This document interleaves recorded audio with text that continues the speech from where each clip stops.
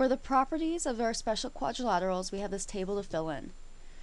Each row is a particular property, and then we can mark an X if that quadrilateral has that property.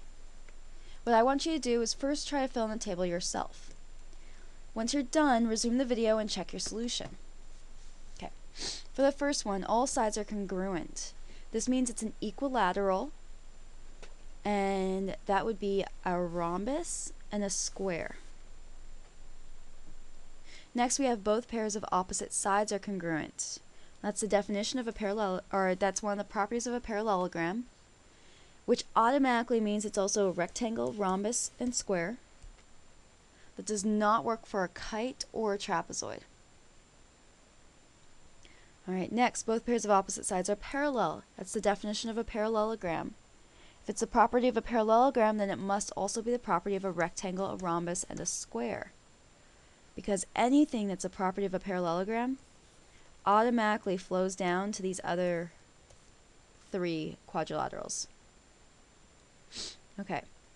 Exactly one pair of opposite sides are parallel. Well, that is not a parallelogram, so it's not a rectangle, rhombus, or a square.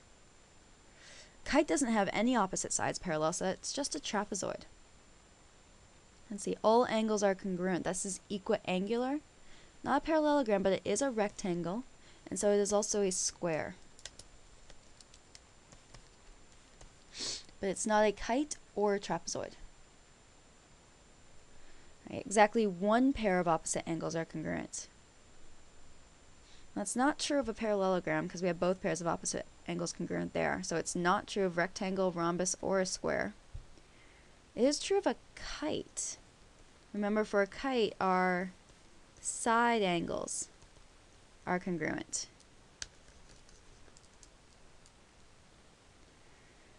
Alright, next, diagonals, and I did write the shapes again down here.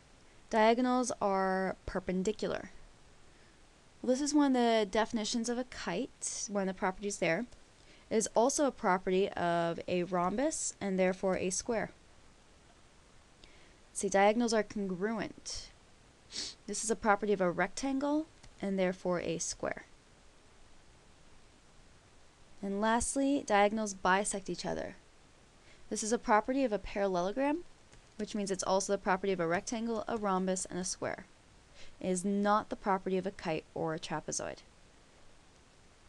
And there are your properties of your special quadrilaterals.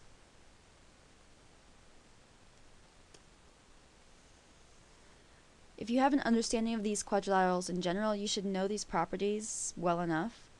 Um, just do make sure you know how quadrilaterals relate to one another and the properties of each one.